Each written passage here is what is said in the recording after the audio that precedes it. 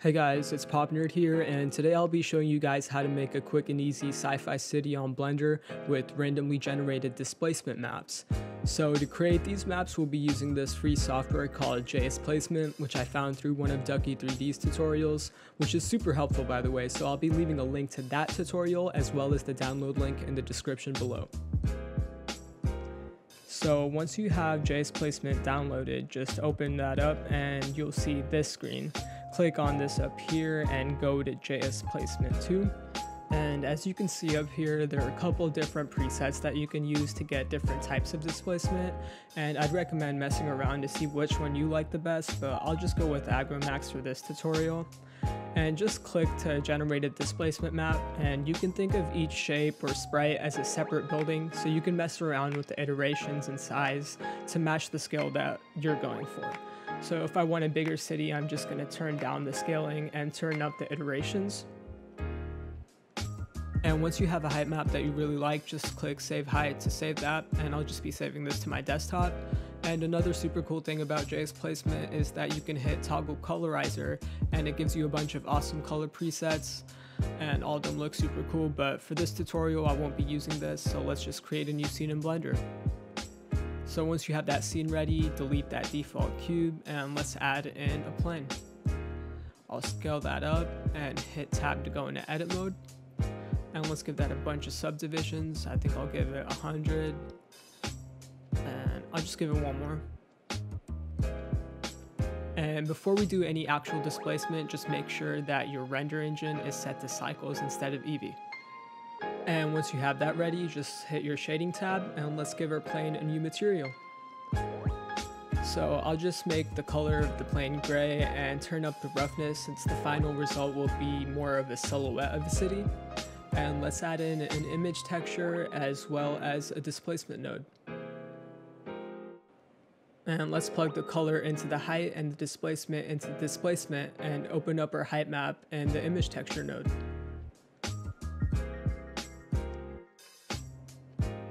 And once you've done that, let's go to our rendered mode.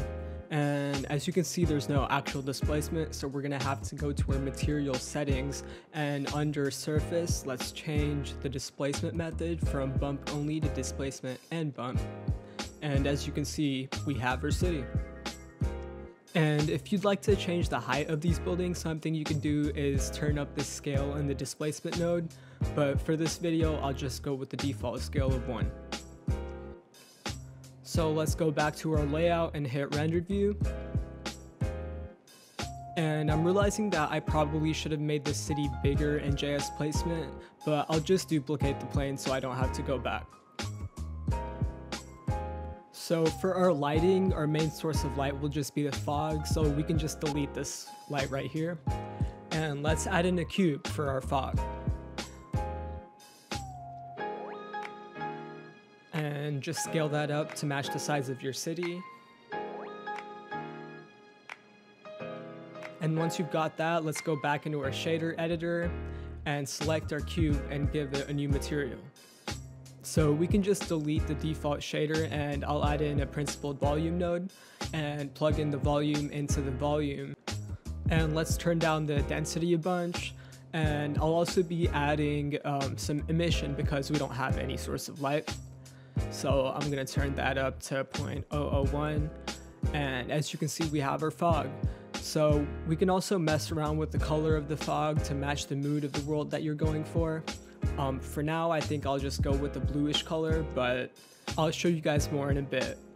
Um, since the buildings are barely visible, I'll also turn up the emission strength, so I think I'll turn that up to 0.005. And that looks pretty good to me. So I'd still recommend messing around with all the values to see what you like the best, but I'll just keep this. And yeah, that's basically it. I'll just set up my camera real quick and also show you guys different colors that you can use for the fog.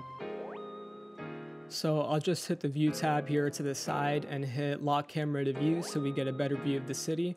And I also think I want to make my camera a bit wider horizontally so we can see more buildings because I think I might also use this for my thumbnail.